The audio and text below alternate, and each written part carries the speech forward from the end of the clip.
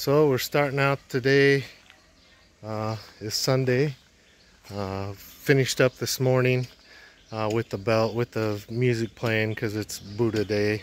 So uh, Sundays. So check out what we got going on now. So got a local guy here hired to take out the tree because this is where our patio is going to be. So he's getting her knocked out. This stuff is hard to dig in, man. It's just not very fun. But he's getting it knocked out. I'm trying to do the layout, the string with the patio. So we're trying to get everything centered, get it kind of squared up with the house. Because I went off of that fence initially, but I didn't notice it. It's kinked way out. Uh, so it's it's it is in further here so the house is not sitting square on the lot. The sits the house is sitting cattywampus to the lot. So I want the building to be uh, square off the house so I'm trying to square it off of the house with I have a laser at home. Somebody wants to mail it to me. It's in the closet. It's already there. I'd sure love it.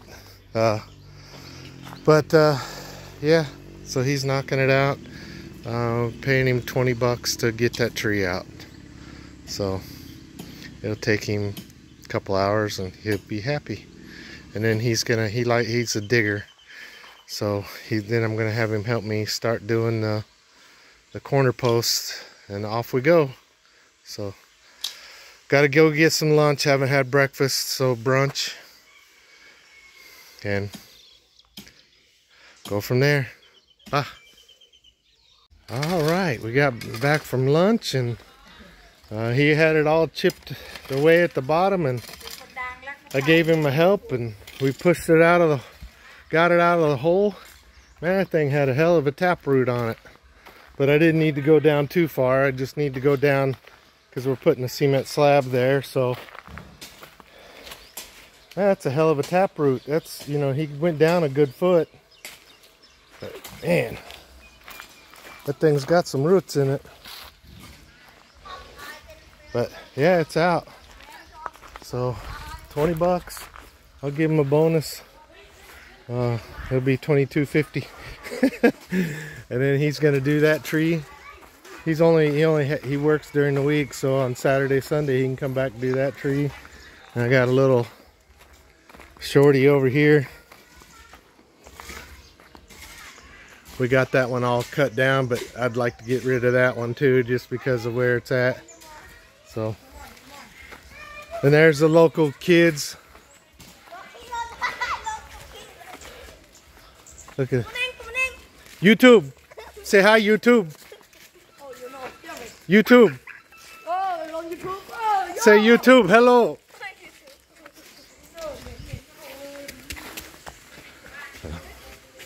Little flowers Everything needs a little work, man. It's, I haven't had anybody here in two years. Some more little flowers. We'll get this place looking good.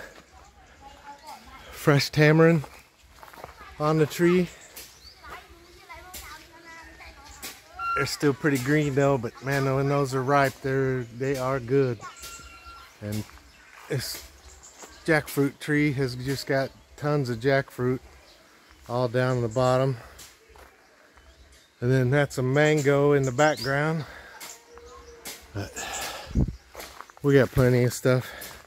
And the neighbor's dogs seem to enjoy sleeping underneath our house for some reason. But as long as they don't poop in the yard. Well, that's a school bus for the kiddies. It must be for the older kids. The young kids left at 6 a.m. this morning. Yep, they got on the bus at 6 a.m. and they won't be home until 4.30, 5 o'clock. Kids in America, you got it easy. Easy.